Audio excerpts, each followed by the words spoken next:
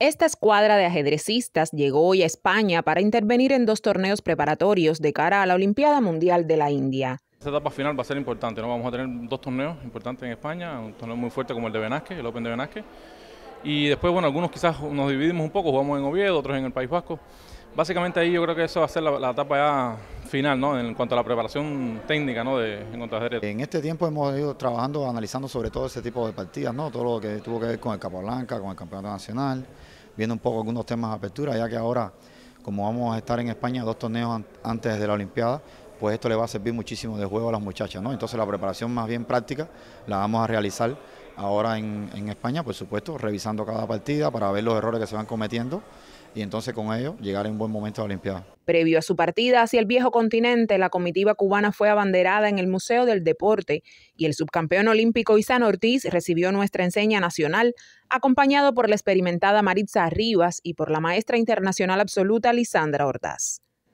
Yacer Quesada jugará el difícil rol de primer tablero del equipo masculino, que completarán por ese orden Carlos Albornoz, Luis Ernesto Quesada e Isan, en tanto Omar Almeida fungirá como tablero suplente. El equipo más bien es un equipo joven y creo que por esa parte es bastante buena porque los muchachos tienen bastante motivación y por mi parte más motivado no puedo estar y, creo que, bueno, la primera parte sería mejorar el resultado pasado y por supuesto eh, vamos, vamos eh, más por más y a ver qué pasa y, tratar de, bueno, de jugar lo mejor posible cada uno de nosotros.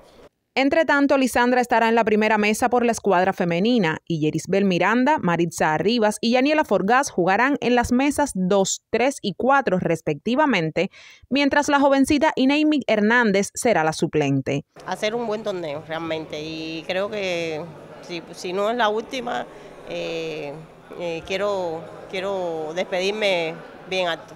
O sea, ¿piensas que esta pudiera ser tu última Olimpiada, Marisa?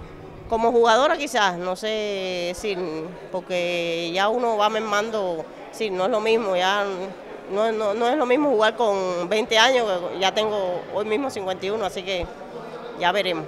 Acercarse a las actuaciones históricas del ajedrez cubano en Olimpiadas Mundiales será un reto difícil para nuestros trevejistas, pero la simbiosis entre juventud y experiencia pudiera ser una ecuación perfecta para lograr un buen resultado.